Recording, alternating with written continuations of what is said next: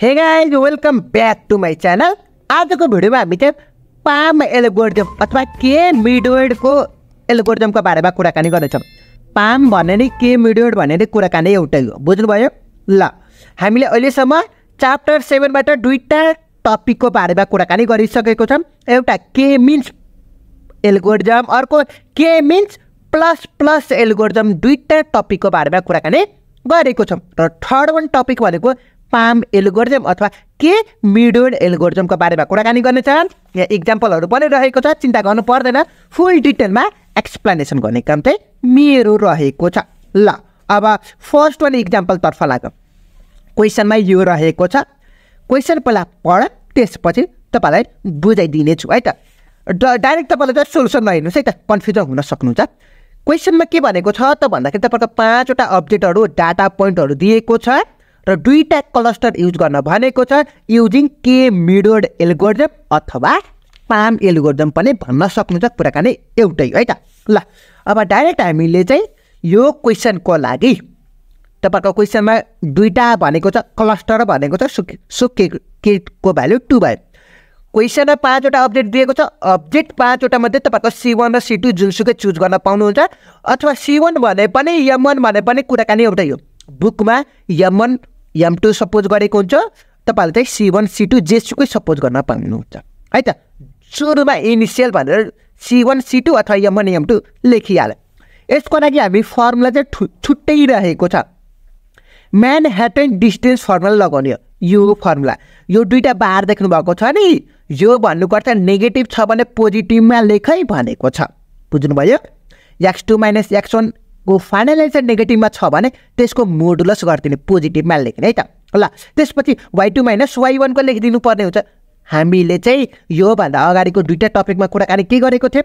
भन्दाखेरि के means algorithm र के प्ल के मिन्स प्लस प्लस एल्गोरिजममा यसको रुट गरेको थियौँ। यसको डप के अरे यस्तो बारको साटा मोडुलसको साटामा हामीले चाहिँ ब्राकेट दिएको थियौँ र स्क्वायर गरेको थियौँ। तर यस्तो होइन। यसमा simply X two minus X one गर्ने Y two minus Y one गरिदिने त्यति काम काम मात्र नेगेटिभ छ भने पोजिटिभ मात्रै लेख्ने ल अब सी वान र सी टू अथवा यम र यम टू चाहिँ तपाईँले ऱ्यान्डमली चुज गर्न सक्नुहुन्छ जुनसुकै चुज गर्न सक्नुहुन्छ पाँचवटा मध्येमा है त? मैले फोरकोमा सिक्स र सिक्सकोमा सेभेन चुज गरेको छु यहाँ हेर्न सक्नुहुन्छ। ल अब म्यान हेटेड डिस्टेन्सको फर्मुला यो लगाउँदैछौँ। फाइभ कमा सिक्स र फोर कमा सिक्सको डिस्टेन्स फर्मुला लगाउँदैछौँ। जुन चाहिँ फाइभ माइनस फोर गर्दाखेरि एक हुन्छ सिक्स माइनस सिक्स गर्दाखेरि zero so one minus zero गर्दा वान भयो। भयो? ल त्यसपछि यिनीहरू सबै क्यालकुलेसन गर्न सक्नुहुन्छ। आफैले पनि। यसमा सिम्पलै त्यस्तो गर्नुपर्ने हुन्छ। र फाइभ कमा सिक्स र सिक्स कमा सेभेनको गर्नुपर्दा तपाईँहरूको चाहिँ कति हुन्छ? टू हुन्छ। फाइभ सिक्समा फाइभ गर्दाखेरि एक हुन्छ प्लस सिक्समा सेभेन गर्दा एक हुन्छ। दुईवटा भएन त। त्यसरी गरेको है त। ल अब यो दुइटामा सानो कुन चाहिँ छ वान छ जुन चाहिँ सिवनमा पऱ्यो सेम एज यो दुइटामा सानो कुन चाहिँ छ वान छ सिवनमा पऱ्यो अब फोरकोमा सिक्सलाई त सी वान लेट गर्नुभएको छ नि त। सो यहाँ सी वान सिक्सकोमा सेभेनलाई चाहिँ एम टू लेट गर्नुभएको छ नि अथवा सी टू लेट गर्नुभएको छ नि क्यालकुलेट गर्नु परेन। सो डाइरेक्ट सी टू लेखिदिनु। अब सेभेन कमा एट र फोर कमा एटको फोर कमा सिक्स क्यालकुलेट गर्नु पऱ्यो। यो दुइटाको क्यालकुलेट गर्नु। यो दुइटामा सानो कुन चाहिँ छ टूको जुन चाहिँ डब्बा कुनको छ? सी टूको सो सो सी टू भयो। अब क्लस्टर वानमा कुन कुन छ? Five comma six four comma five four comma six भयो। सी टूमा यो लास्टको दुइटा सिक्स कमा सेभेन र सेभेन कमा एट। अब भनेको टोटल कस्ट भनेको तपाईँहरूको चाहिँ फोर कसरी आयो म बुझाइदिन्छु चिन्ता गर्नु पर्दैन। दुइटामा सानो कुन चाहिँ छ? वान छ सानो। सो वान भयो। यो दुइटामा सानो कुन चाहिँ छ? वान छ। सो वान भयो। यो दुइटामा सानो कुन चाहिँ छ? टू छ। सो यसरी भएको छ। वान वान टू र टू गर्दाखेरि फोर भएको छ। इट्रेसन नम्बर वानमा यसरी गर्ने है त टोटल कस्ट कति छ? फोर आएको छ कण्ठ पार्नु हो। एकछिनको लागि कण्ठ पार्नु है त ल। त्यसपछि इट्रेसन नम्बर टूमा के गर्छौँ now let's choose some other point be a medoid instead of four comma six भन्नुको अर्थ हामीले फोर कमा सिक्स र सिक्स कमा सेभेन चुज गरेको छौँ ल म तपाईँलाई बुझाइदिन्छु चिन्ता गर्नु पर्दैन। हामीले इट्रेसन नम्बर वानको लागि सी वानको भ्यालु फोर कमा सिक्स र सी टूको लागि सिक्स कमा सेभेन चुज गरेको छौँ। हामीले पाम युज गर्दैछौँ इट्रेसन नम्बर टूमा चाहिँ यो दुइटै सी र सी टू मध्ये कुनै एउटा चेन्ज गरिदिने यो पाँचवटा मध्ये कुनै एउटा चुज गर्नुपर्ने हुन्छ। इन्स्टिट अफ द्याट है त? जस्तै कि सी टूलाई मैले चाहिँ सेम राखिदिन्छु हो? सी वानलाई मैले चेन्ज गरिदिन्छु। सी वानको ठाउँमा मैले अर्को चुज गर्छु। बुझ्नुभयो? जुन चाहिँ हेर्न सक्नुहुन्छ। हेर्नु त सी टूलाई चाहिँ सेम राखेँ र सी वानको ठाउँमा अघि इट्रेसन नम्बर वानमा इट्रेसन नम्बर वानमा फोर कमा सिक्स थियो। इट्रेसन नम्बर टूमा मैले फोर कमा फाइभ चुज गर्छु। अब त्यस्तै वेमा तपाईँलाई चाहिँ म्यानहेटेड डिस्टेन्सको फर्मुला लगाउनु पर्ने हुन्छ। अब नयाँ क्लस्टर भनेको four comma five six comma seven भयो। बुझ्नुभयो? ल म्यानहेटेड डिस्टेन्सको फर्मुला लगाइदिइहाल्ने यो दुइटाको डिस्टेन्स फर्मुला इफ यो म्यानहेटेड डिस्टेन्सको हो? योवाला भनेको क्या मैले? ल भयो। यो दुइटा तपाईँहरूको चाहिँ फाइभ कमा सिक्स कता गयो? कता गयो कता गयो? फाइभ कमा सिक्स त छैन रहेछ। तपाईँहरूको फाइभ कमा सिक्स चाहिँ यो दुइटा चाहिँ बराबर रहेछ त है? ल रोक्नुहोस् है त। कता गयो five comma six four comma five ल ठिकै छ। भनेपछि फोर कमा फाइभ ल अनि त्यसपछि फाइभ कमा सिक्स भनेपछि वान हुन्छ त्यसपछि यो दुइटा प्लस वान टू भयो त्यसपछि यो भनेपछि वान र वान यो पनि टू भयो। सो यो दुइटा बराबर छ भने यो बराबरको सिवन लेख्दा पनि हुन्छ नो प्रब्लम बुझ्नुभयो? फोर कमा फाइभलाई अलरेडी तपाईँको सिवन लेट गर्नुभएको छ। Four comma six four comma सिक्सको लागि सेम निकाल्नुहोस् यो दुइटामा सानो कुन चाहिँ छ? वान छ। सो सिवन भयो। सिक्स कमा सेभेन छ। सिक्स कमा सेभेनलाई तपाईँलाई सी टू लेट गरिसक्नु भएको छ। सो सी टू लेखिदिनुहोस्। सेभेन कमा एट छ। सो सेभेन कमा एटको फर्मुला लगाइदिइहाल्नुहोस् यसको यसको फर्मुला यसको र यसको फर्मुला। सानो कुन चाहिँ छ? टू छ। अब सी वान सी वान छुट्याइदिनुहोस् र सी टू सी टू छुट्याइदिनुहोस्।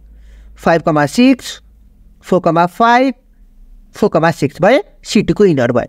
अब डिस्टेन्स फर्मुला निकाल्नुहोस् भन्नुको अर्थ टोटल कस्ट निकाल्नु भनेको सेम छ भने टू भयो यो दुइटामा सानो वान छ यो दुइटामा सानो टू छ। सो पाँच भयो। अघि यसको टोटल कस्ट टिसी भनेको टोटल कस्ट है त फोर छ। यसको टोटल कस्ट भनेको पाँच भयो। जुन चाहिँ योभन्दा चाहिँ ठुलो भयो नि त ठुलो भएपछि हामीले के गर्नुपर्ने रहेछ? यसको भ्यालु चेन्ज गर्न पाइँदैन भन्न सकिन्छ। ए हेर्नु त the cost of at this time is five which is larger than the previous cost जुन चाहिँ फोर छ। So undo the swap undo swap भन्नुको अर्थ इट्रेसन नम्बर टूमा चेन्ज गर्नुभएको छ नि त। चेन्ज गर्दाको टोटल कस्ट तपाईँहरूको धेरै आयो इट्रेसन नम्बर वान वानभन्दा धेरै आयो। सो द्याट हामीले चाहिँ स्वाप नगरिदिने चेन्ज नगर्ने भनेर लेखिदिन्छ। So therefore final answer भनेर देयर फोर फाइनल एन्सर भनेर hence four comma six and six comma seven are the final medoid therefore the cluster are भनेर यो दुइटा लेखिदिने four comma four comma six र six comma सेभेनको cluster कुन कुन छ यो दुइटा हो दुइटा लेखिदिने सकिएको त यसको अब समरी भन्नुपर्दा यसको पामको है त? पाम पामको समरी भन्नुपर्दा के गर्नुपर्छ त भन्दाखेरि तपाईँहरूले सी वान र सी टूको भ्यालु तपाईँले जुनसुकै चुज गर्न पाउनुहुन्छ नो प्रब्लम ऱ्यान्डमली चुज गर्ने. ऱ्यान्डमली चुज गर्ने है? चुज गर्ने. इट्रेसन नम्बर वानको लागि तपाईँहरूको सी वान र सी टू जुन चुज गर्नुभएको छ त्यस्तै गरिदिने हो? क्यालकुलेसन लगिदिने गर्ने. त्यसपछि टोटल कस्ट निकाल्ने मा टोटल कस्ट निकालिदिने हो? अब इट्रेसन नम्बर टूको लागि तपाईँहरूले सी वान र सी टूमध्ये कुनै एउटा भ्यालु चुज गरिदिए के अरे अर्को चुज गर्ने भनेको। यो सी वान र सी टूमा मानौँ न सपोज तपाईँहरूको इट्रेसन नम्बर वानको लागि सी वानको लागि वान कमा थ्री सी टूको लागि तपाईँहरूको टू कमा फोर चुज गर्नुभएको छ भने इट्रेसन नम्बर टूको लागि यो दुइटामध्ये कुनै एउटाको भ्यालु सेम राखिदिने। टूको राखे पनि भयो वानको राखे पनि भयो नो प्रब्लम र अर्को जस्तै तपाईँले तपाईँहरूले वानको सी वानको भ्यालु सेभ राख्नुभयो सी टूको भ्यालु चाहिँ चेन्ज गर्नुपर्ने हुन्छ। है त? जस्तै कि यो यसवाला वानकोमा एकैछिनको लागि सपोजको लागि भनेको। अब यसको फेरि टोटल कस्ट निकालिदिने। यदि यसको टोटल कस्ट चाहिँ सिक्स भयो यसको टोटल कस्ट थ्री छ भने हाइएस्ट यो भयो नि त? हाइएस्ट यो भएपछि चेन्ज गरेको भ्यालु यो होइन। Back to the iteration number one back to the iteration number वानको तपाईँहरूको सी वान र सी टूको जुन जुन पोइन्ट चुज गर्नुभएको छ त्यसको क्लस्टरिङहरूको एन्सर चाहिँ फाइनल एन्सर हुने भयो। यसरी बुझ्ने। अब योभन्दा बुझाउने उपाय चाहिँ छैन। सिम्पल भाषामा भन्नुपर्दा हामीले चाहिँ के मिन्स एल्गोरिजममा के गरेको थियौँ रे? सी वान र सी टू जेसुकै चुज गरेको थियौँ नि त। चुज गरेर इट्रेसन नम्बर वानको क्यालकुलेसन गरेको थियौँ। त्यसपछि इट्रेसन नम्बर वानको क्लस्टरिङ आउँछ क्लस्टरिङ पछि सेन्ट्रोड निकाल्नु पर्ने थियो। हो? पाममा चाहिँ सेन्ट्रोड निकाल्न पर्दैन। यति बुझ्नु हो? पामको लागि के गर्ने त भन्दाखेरि भ्यालु नै पोइन्ट नै डिफ्रेन्ट चुज गर्ने भनेको। हेर्नु त। सुरुमा हाम्रो इट्रेसन नम्बर वानमा फोर कमा सिक्स थियो र सिक्स कमा सेभेन थियो। इट्रेसन नम्बर टूको लागि सिक्स कमा सेभेन त सेम एज इट इज नै छ। तर फोर कमा सिक्सको लागि फोर कमा सिक्सको ठाउँमा यो अरू एउटा ऱ्यान्डमली चुज गर्ने। जुन चाहिँ मैले फोर कमा फाइभ चुज गरेको छु randomly let's randomly choose four comma five भनेको छु।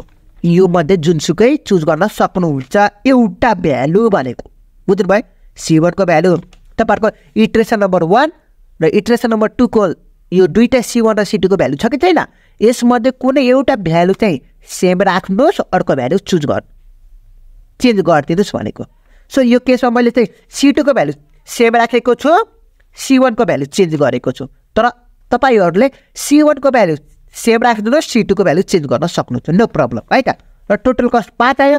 पाँच आएपछि के के थाहा पाइन्छ त भन्दाखेरि इट्रेसन नम्बर वानको यो फोर छ कि छैन? इट्रेसन नम्बर वानको टोटल कस्ट फोर छ। योभन्दा धेरै आयो धेरै आइसकेपछि इट्रेसन नम्बर वानको यो final answer final clustering C one र सी टू जे छ त्यही नै तपाईँहरूको फाइनल एन्सर छ।